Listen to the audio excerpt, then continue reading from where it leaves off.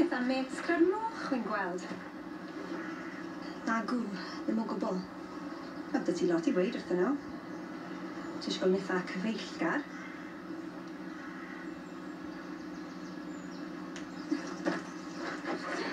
Paid yn eithas a paid yn eith sŵn ac os yn eithas, fath yn eithas.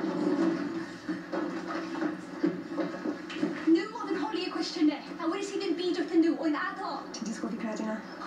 Please.